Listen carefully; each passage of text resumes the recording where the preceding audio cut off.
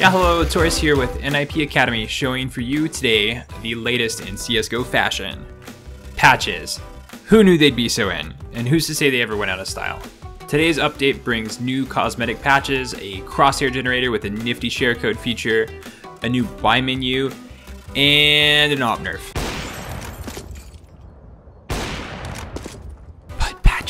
Us forget. No, but seriously though, in this update, Valve has nerfed the AWP crouching movement acceleration. They sort of word it like it's a bug, like the acceleration is now constant and will not spike after firing a shot. But we all know it's a nerf.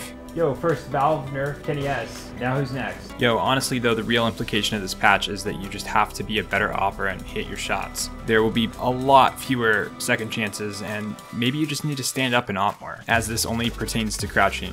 Now that the sad news is over, have you seen our good friend Patches? This update also brings a crosshair generator.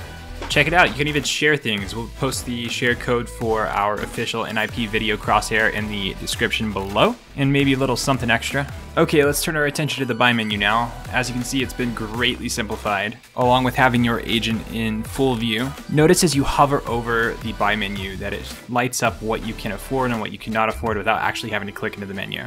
Now this is pretty great, I'm all about these UI changes, but having your cursor start in the center of the buy menu every single time is the weirdest thing ever. Having an option to disable that in the future would be great, Valve, but if not, I just have to unlearn, what is it, six, seven years of muscle memory? Yeah, that's the high notes of the update. There are some minor changes to Breach and Studio. They've also raised the competitive FPS max to 400 from 300. But yeah, hey, Thanks for watching.